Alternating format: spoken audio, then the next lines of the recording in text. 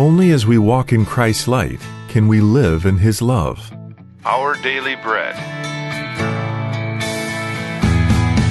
Today's encouragement from the Our Daily Bread devotional was written by Mart DeHaan.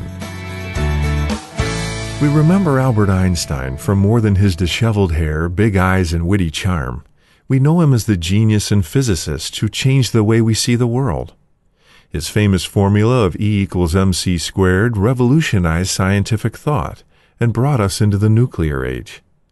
Through his special theory of relativity, he reasoned that since everything in the universe is in motion, all knowledge is a matter of perspective.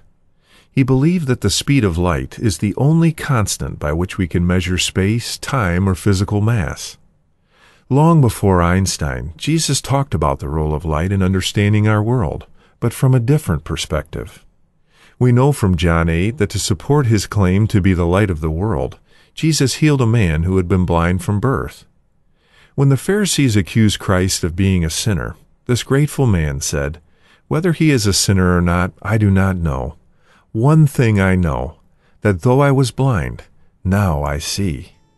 While Einstein's ideas would later be proven difficult to test, Jesus' claims can be tested. We can spend time with Jesus in the Gospels. We can invite him into our daily routine. We can see for ourselves that he can change our perspective on everything. Today's Our Daily Bread devotional scripture reading is from John chapter 9, verses 1 through 7. As he went along, he saw a man blind from birth. His disciples asked him, Rabbi, who sinned, this man or his parents, that he was born blind? Neither this man nor his parents sinned, said Jesus. But this happened so that the works of God might be displayed in him. As long as it is day, we must do the works of him who sent me. Night is coming, when no one can work. While I am in the world, I am the light of the world.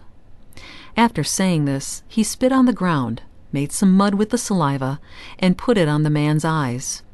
Go, he told him, wash in the pond of Siloam. This word means sent. So the man went and washed, and came home seeing. That's today's scripture reading from John chapter 9, verses 1 through 7. Let's pray together. Lord Jesus, you are the one constant in this chaotic world. Thank you for being the one true light that the darkness can never extinguish. In your name we pray. Amen.